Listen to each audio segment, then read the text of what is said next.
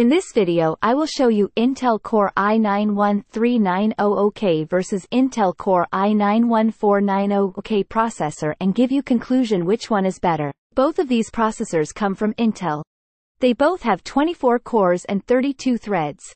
The Intel i9-14900K has a base clock frequency that's 200 MHz higher than the Intel i9-13900K. Similarly, the boost clock frequency of the Intel i9-14900K is also 200 MHz higher than that of the Intel i9-13900K. Other specifications like cache size include 36 MB for L3 and 32 MB for L2 for both processors.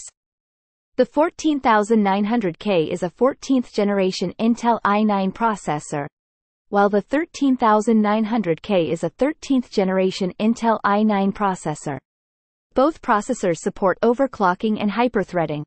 They can both handle up to 128 GB of RAM, with the maximum memory bandwidth support of the 14900K being 0.40 GB per second greater than the 13900K processor.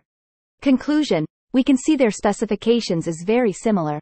The main distinctions between them are in the boost clock speed, base clock speed, and maximum memory bandwidth. However, these performance differences are expected to be quite minor.